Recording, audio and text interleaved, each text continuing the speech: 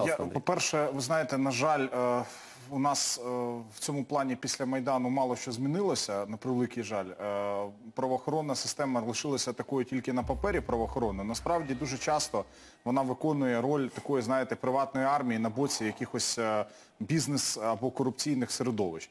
От якщо ми зараз подивимося на ситуацію, яка відбувається біля Кропивницького, ну, по суті, там є якийсь майновий конфлікт, так? Тобто там є обурення громади, і е, замість того, щоб забезпечити правопорядок і забезпечити виконання закону, по суті, ми бачимо, що там правоохоронці використовують вигляді приватної армії для феодалів, які там, ну, скажімо, обурюють е, місцевих е, людей.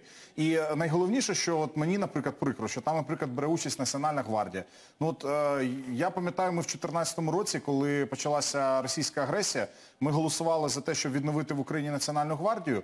І, е, Ну, і вряд ли нап- напевно, чесно кажучи, не для таких цілей ми собі уявляли, що вона буде використовуватися. Тобто це ненормальна ситуація.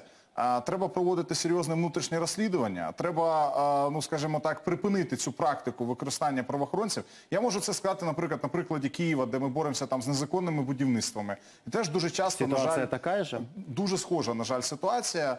Дуже часто, я не кажу, що завжди, щоб це не був такий порожній популізм, але дуже часто правоохоронці виступають на боці бізнес, скажімо такого, корумпованого, пов'язаного з владою бізнесу і проти інтересів громади.